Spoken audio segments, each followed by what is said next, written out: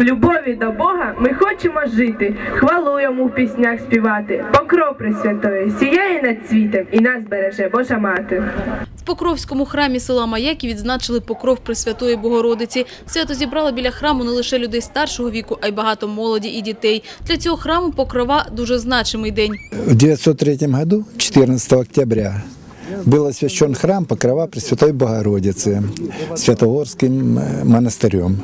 Вот с того момента этот день отмечается у нас как престольный праздник. Э, 14 месяцев назад возникла идея восстановить немножко храм, провести капитальный ремонт его, сделать его более настоящим храмом. За 14 месяцев то, что мы успели сделать.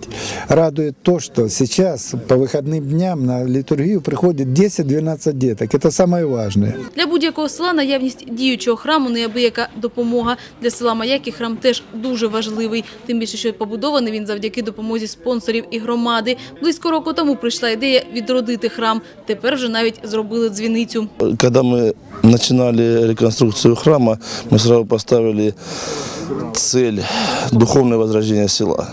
И духовное возрождение села Маяки началось именно с возрождения нашего храма.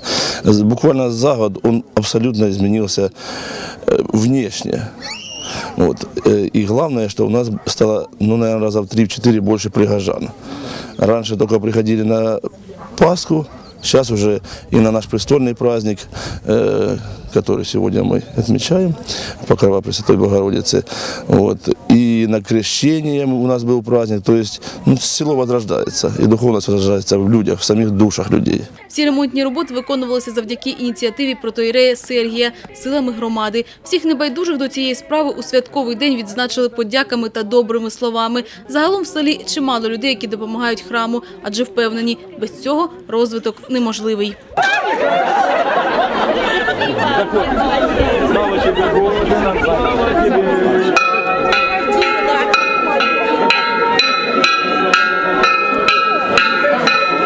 В нашому селі люди допомагали строїти церкву. І зараз, е, в зв'язку з тим, що церква построєна, багато сімей сім'ями ходять е, в церкву. Вірю, дуже вірю, що церква допомагає нам, людям духовно. Святковий день не завершився службою. Після неї всіх присутніх запросили на святкову трапезу.